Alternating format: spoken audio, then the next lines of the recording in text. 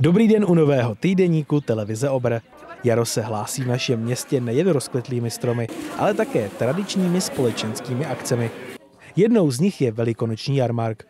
Už po 12. se konal ve františkánském klášteře 16. března a nabídl jako každý rok ukázky řemeslných výrobků, výtvarné dílničky pro děti i bohaté občerstvení krajových specialit. Tradiční modrotisk, který není teda tištěný z dřevěných forem, ale je kreslený.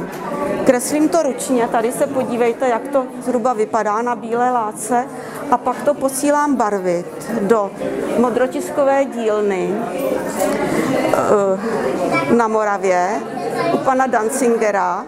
Přijde mi obarvená modrá látka a z toho potom šiju různé výrobky.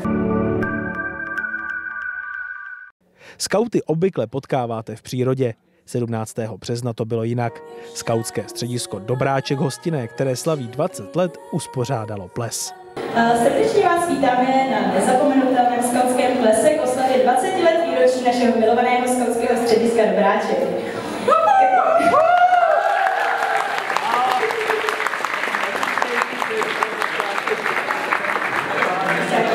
Tak, krátkost programu.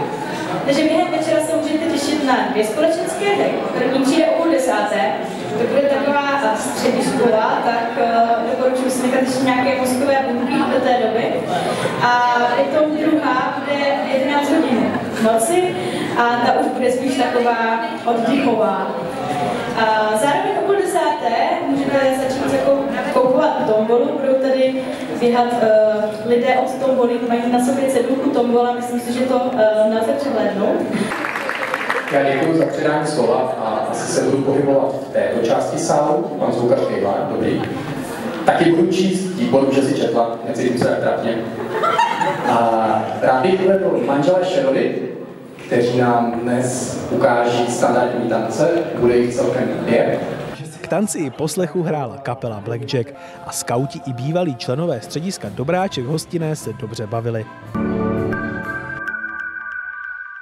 Ve františkánském klášteře pokračují cestovatelské přednášky. Ta poslední o Malopolsku se konala 18. března. Přednášel cestovatel Pavel Chlum. Dobrý den, já se jmenuji Pavel Klum, eh, jsem z cestovatelské skupiny Triple.cz. Eh, dělal jsem dneska přednášku o Malopolsku, neboli o části vlastně jihovýchodního Polska, kde, se, kde jsme procestovali hlavně dvě vojvodství, a to právě Malopolské a Podkarpatské.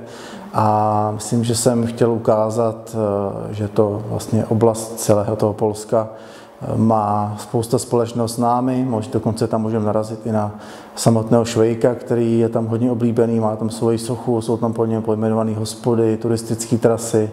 Lidi ho tam mají rádi, mají rádi český pivo, mají rádi Čechy.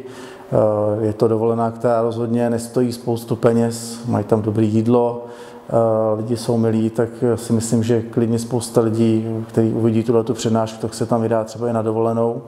Samozřejmě není tam moře, ale jsou tam krásné jezera, ve kterých se dá koupat, je tam průzračná voda v okolí Polančiku, můžete tam navštívit spousta krásných míst, je tam spousta památek UNESCO, ať už Zámoš, který jsme navštívili, eh, samozřejmě Věličku, nebo spousta krásných historických kostelů.